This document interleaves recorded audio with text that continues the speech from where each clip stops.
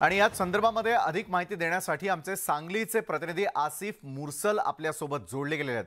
आसिफ एकंदरीत आपण आढावा दाखवला. ग्राफिक्सच्या माध्यमातून आपल्या प्रेक्षकांना आपण समजावून सांगितलं. मात्र एका बाजूला थेटपणे पालकमंत्र्यांच्या नियोजन समितीच्याच निधीमधून पैशाचा वापर केला गेल्याचा एक मुद्दा. तर दुसरीकडे विकासासाठी पैसा नसला तरी देखील मात्र कार्यालय सजवण्यासाठी लाखो रुपये खर्च केल्याचं यावेळेला दिसतंय. आसिफ काय अधिक माहिती आहे? विषयाला आपण म्हणताय ते बरोबर आहे. कारण का ज्या प्रशासकीय इमारतीमध्ये हे कार्यालय आहे पालकमंत्र्याचं तर तिथं तीस प्रशासकीय इमारतीमध्ये वेगवेगळे ऑफिस आहेत. रेव्हेन्यू असेल रेशीम उद्योग असेल माहिती कार्यालय असेल किंवा अन्न औषध प्रशासन.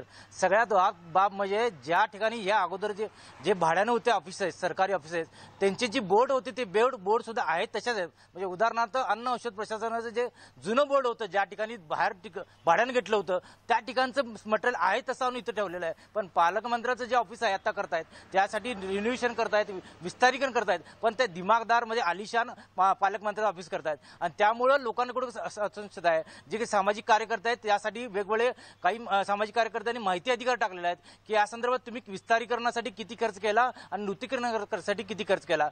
आणि यामुळेच काही लोक रस्त्यावर उतरण्यासाठी आंदोलन करण्यासाठी निवेदन दिलेलं आहे. आपल्यासोबत काही सामाजिक कार्यकर्ते आहेत त्यांच्याकडून तुम्ही काय सांगाल? पालकमंत्र्याच्या ज्या कार्यकर्त्या अं, कार्यालयाला लाखो रुपये चुरा लागेल त्यावर तुमचं काय मत आहे?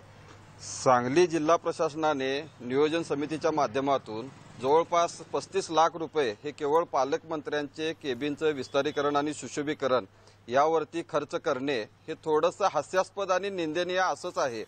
कारण मिरजेसारख्या शा शासकीय रुग्णालय ठिकाणी रुग्णसेवेसाठी म्हणून पंचवीस लाख रुपयाची तरतूद करायची आणि फक्त पालकमंत्र्यांच्या कॅबिनचं विस्तारीकरण आणि सजावटीकरणासाठी म्हणून पस्तीस लाख रुपये खर्च करायचे. वास्तविक पाहता जन जन आपल्या सामान्य लोकांचा करातनं आलेला पैसा हा सामान्यांच्यासाठीच्या सुविधा तयार करण्यासाठी म्हणून खर्च केला गेला पाहिजे. असा अवाजवी खर्च मंत्र्यांचे कॅबिन सुशोभीकरण करण्यासाठी जनता कर रूपाने देत नाही याचे भान प्रशासनाने आणि लोकप्रतिनिधींनी राखलं पाहिजे.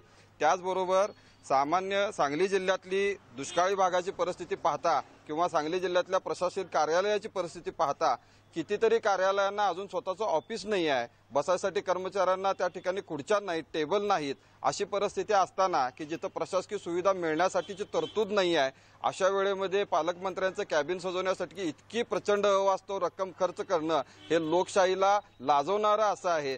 तर एक जबाबदार नागरिक म्हणून माझं असंच म्हणणं राहील याच्यामध्ये की पालकमंत्र्यांनी आणि जिल्हा प्रशासनाने अशा प्रकारे जनतेच्या कराची उधळपट्टी करत असताना थोडंसं भान राखणं गरजेचं आहे.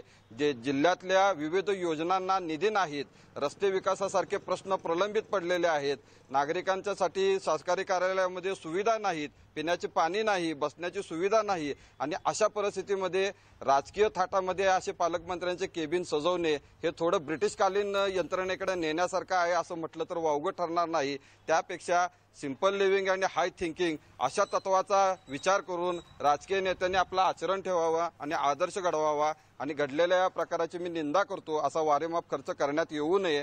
त्यापेक्षा जनतेच्या कल्याणकारी योजना राबवण्यावरती यंत्रणेने पैसे खर्च करावेत. विशाल नक्कीच बघितले की